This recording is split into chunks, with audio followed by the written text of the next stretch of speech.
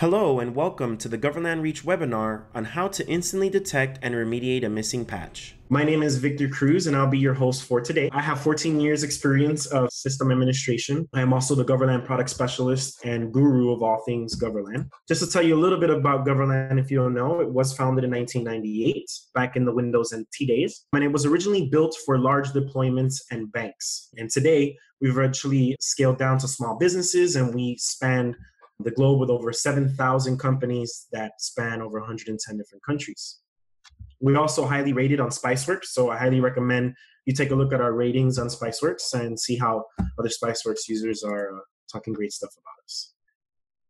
A little bit about Goverlan Reach. Goverlan Reach is an endpoint management solution, and it's going to give you the ability to go ahead and manage your endpoints, whether they're internal on your network pingable or outside external anywhere around the globe as long as they have an internet connection. And what you'll be able to do is, of course, go ahead and manage your machines with a remote control session. But what Goverlan specializes in is background management of your devices. So being able to do complex management tasks on one machine or multiple machines around the globe in bulk without having to disturb your users. And today we're going to work a little bit with the IT process automations module, which is what's going to assist us in managing all of our devices in bulk. Now, here's the action plan for today. Um, the first process automation we're going to create is a very simple query against your endpoints to figure out what machines have very simply Windows updates available. From there, we're going to go ahead and create a more detailed action that's going to give us a specific report on what updates are currently installed, but specific updates that we're looking for. I'm going to show you how to report on a success and failure, and then, of course, we're going to dive into the remediation of the patches. So let's go ahead and dive right into the demo. This is the Goverlan admin console, and this is our welcome page that has some resources here. And then we have our three main modules. The first is administration and diagnostics. Again, we're not going to go into A&D. I just want to show you a little bit of what A&D can do when it comes to managing one machine. This is your solution that's going to assist you managing those one-off issues or a handful of machines if you need to as well. And here I'm going to very simply go ahead and search for a machine. I'm going to hit set focus. It's going to bring me to the view of the machine. And as you can see, these are all the different tools that we have to go ahead and manage our devices in the backend without disturbing our users. But what we're going to go ahead and do today is just work on the Windows Updates feature. So this is how it looks to go ahead and launch the Windows Updates tool. And what you're going to see is that the Windows Updates tool gives you all the abilities as if you were locally logged onto the machine, but of course you're in the backend without disturbing your user.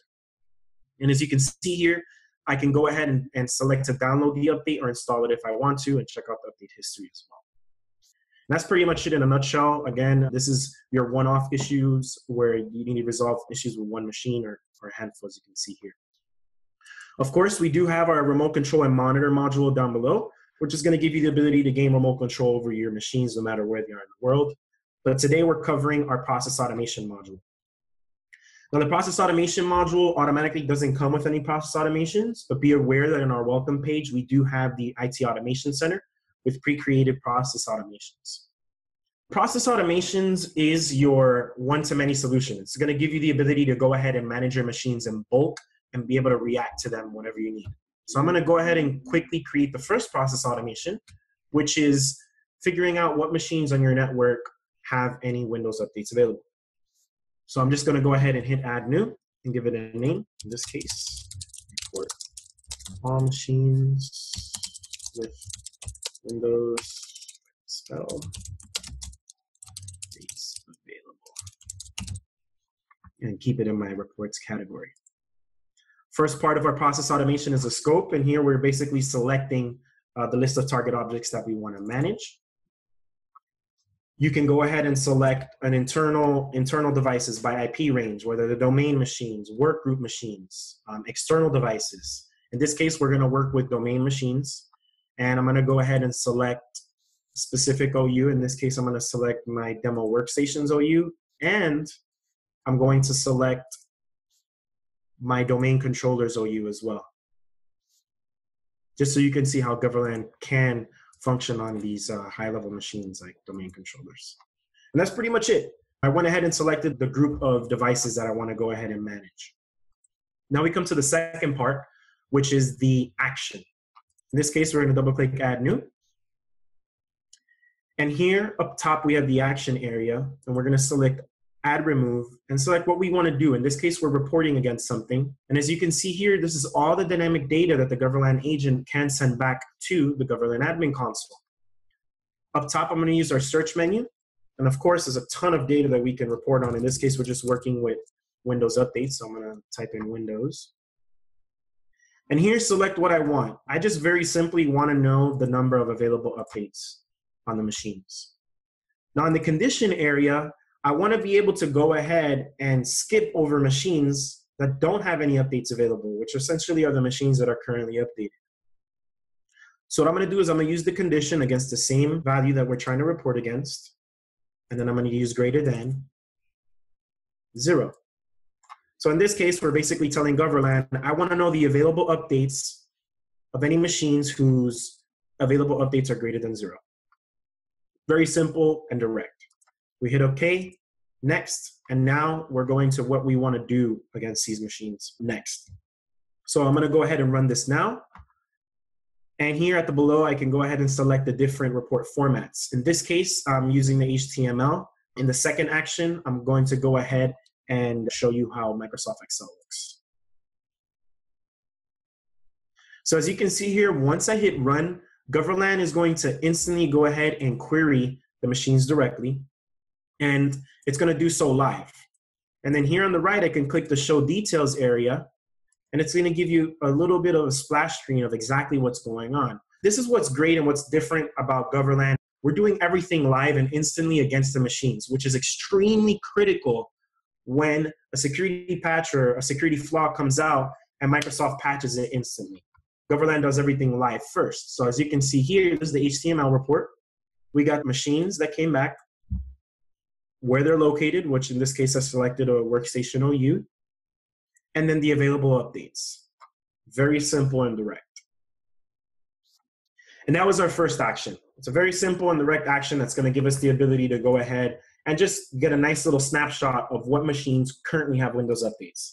Let's go a little bit more deeper into process automations with the second action. Now, the second action is going to give you the ability to figure out an exact Windows update that you're looking for.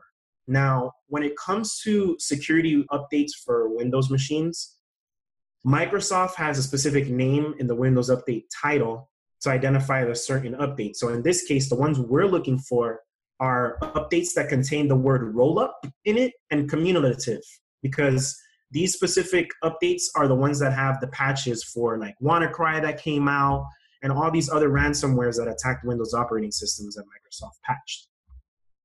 So here I'm just going to double click this pre-created action just so you can see how it looks. Same scope as before, and uh, here's the action here. So the only difference, we went ahead and still kept the number of available updates. The only difference is that we added a report action that tells us the, the update titles of every report result and the available updates, which update title contains roll up or cumulative. Very simple. Also be aware that when you're using the available updates condition or the report action, Goverlan is essentially asking the machine, hey, I want to know what updates you have available since the last time that you checked for updates which means that that's at the discretion of the automatic update check for update setting on the machine. So if a machine checked updates a month ago, Goverlan is going to give you back that data from the last time it checked. Of course, you can include an action that tells Goverlan, hey, first check for updates and then go ahead and report. But be aware that some Windows machines, as you all should know, take a little while to check for updates and bring those in. So that might be a little bit of a delay.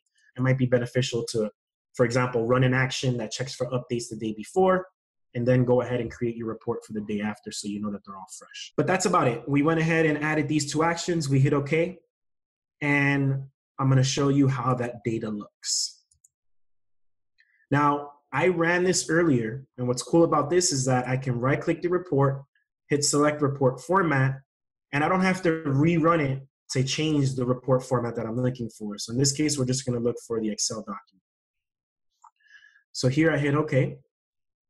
Excel's gonna go ahead and open. And this is how our Excel sheet looks. The first tab is the computer tab, which gives us one of the report items we looked for, which was the amount of Windows updates available. But this case, we didn't get as much results before because we had a condition now that said we only want updates to have the word rollup or cumulative in it. That's why we had less results. And down below, we have a sheet for the second data set, which was the update title. And the update title needed to contain cumulative update. And as you can see here, some of these machines have two updates that need to go ahead and be installed, and we get that And that's it. This is more of an informational, as you can see, and this is going to give you exact information on one specific security update you're looking for. And it's in Excel, so you can manipulate that however you please. What you can also do to this action after running it and getting the data that you're looking for is right click it, go to the scheduler, and create a schedule for it. I did create a schedule earlier, so I'm just going to modify everything that I did earlier. So I can click the schedule tab. Um, what's cool is that we can schedule it to do monthly on the first Tuesday of every month, which, as you know, is the Patch Tuesday, Microsoft's Patch Tuesday. So we can schedule this to go ahead and run on the day that Microsoft goes ahead and release new patches or the day after, just to give those machines a leeway to go ahead and check for updates when they need to. After that, I come to the post execution options, put in my SMTP settings, and Goverlan will automatically email me the execution report, which is the report status of failure and success, and the output report, which is the data points like the update title and the amount of updates are available. Up top, we can also select the output format, so be aware of that. And that's pretty much it. Every time this runs, I will get an email with the data points and the results. So now we've went ahead and covered reporting all of our machines, getting a specific security update. How do we go ahead and remedy this? And what's cool about Goverlan is that we can reuse actions that we did before because we know this second action here already gives us valid data that we're looking for, which is essentially machines that have cumulative or rollups available. So I'm simply gonna right click this and hit add new copy. Here I'm just gonna modify it. So instead of reporting, I'm gonna change it to patch. And I'm also gonna add it to a new category that I wanna create called patch. And I'm gonna put scans and patches. All machines that have the security rollup available. Computer's scope is the same one we selected before. And the action is gonna be the same that we had before as well. Now, the only thing we're gonna do here is add something to this because we definitely wanna keep the report data points. We also wanna keep the update title. And all we're gonna do is hit add, remove, execute this time. And here, of course, you can see all the awesome actions that we have against devices from software deployment to managing printers to network devices. We're gonna use the search up top in this case just for Windows updates. And I'm simply gonna say request to install all updates. Here I can give it an argument and select if I only wanna do driver or software updates. In this case, I am only gonna put software because if there are driver updates available, like a video driver, for example, that can take a ton of time to install. So I just want Goverlan to hit the software updates. And that's it. I'm basically telling Goverlan for the list of machines that I selected previously that come back with an available update title that contains rollup or cumulative, I want you to give me the report, and I also want you to install all of these updates that are available. And that's it. It really is that simple. Once we hit OK, we go to next. Goverlan keeps that same SMTP settings that we had before. And here we can go ahead and set up a schedule if we want for it. I keep on running. And we can go ahead and say once a week Monday. And that's pretty much it. I'm just going to put it to run later and hit finish. And as you can see here, now we have the ability to go ahead and remediate against these devices. Once this goes ahead and runs and we get that schedule, we're going to get a report on the results as well. And finally, if we want to go ahead and determine the success of the results, look what we have here. We have the same exact report that we already had scheduled earlier that's going to give us machines that have the updates available. So what's great about this is that Goverlan will go ahead and patch, and then the next time number two runs, it's just going to give you a results of any machines that don't have any updates available. So you can see that as well. Of course, The exact action itself has its execution results. We're going to show you the success and failures for machines that may be offline. And just tapping on some extra info like the offline machines, you can include a wake on LAN action, for example. Of course, you need to make sure that you do have wake on LAN configured, but just to show you here, you can go ahead and go into the action and simply create and execute wake on LAN action here. And what's great about Goverlan is it does everything that you have set up here in order. So I can leave this action here, double click add new, and then I can hit execute and go down to my power options and set up a wake on LAN right here, action. And what's cool is that this will run first here on those machines that are offline, and then it'll go ahead and run the action next. So be aware of that. And of course, we also have all the other machines again that you have selected in your scope, which I'm gonna show you that as well.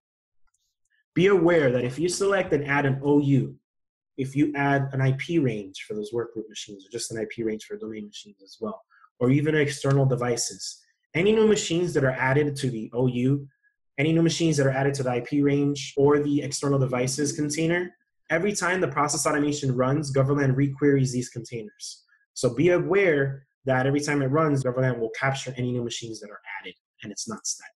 And that's pretty much it in a nutshell. Uh, also be aware, you can check our YouTube page, youtube.com forward slash Goverlan. Has a lot of cool resources for implementing Goverlan and stuff like that. You can also schedule a live demo with us. We have them Monday through Thursday. If you just go to goverlan.com, right at the top, you'll see schedule a demo. You can also start a trial with us, a 30 day trial that's going to include every single feature you saw here and our entire enterprise edition for 30 days for up to five admins. So feel free to go ahead and take a look at that. If you do have any questions, I'm going to go ahead and open up the Q&A and chat. Will the machines be rebooted after patching? That's our first question. So it, it really depends on the on the update itself. Whenever you do install the update, Goverlan doesn't cause the update to reboot. If I'm correct, it definitely won't reboot the machines. But I'll have another question. On your example, it said download and install all updates. Well, it only updates the one with rollup and cumulative selected by the above criteria or is it all updates? It will, the action we just specifically just did right now will do all software specific updates. But if you only want to specifically hit just the, that one security update, you can. You just need some information from the machine. So I'll just show you how to do that. In administration and diagnostics, you can go to Windows Updates, go to the available update on any machine that has the update available you're looking for. And as you can see here, I can right click it and I can say copy update to clipboard, for example. And I can come here to the process automation and instead of doing request to install all updates, I can hit execute Windows updates and install a specific update. You just add that. Once you do that there, that's it. It'll just go ahead and execute it only on machines that evaluate to true and have that specific update. And you can add them, you can add multiple updates as well if you need to for the other operating systems. Any other questions here? All right, ladies and gentlemen, that is all for our webinar today. Thank you all for joining and have a wonderful day.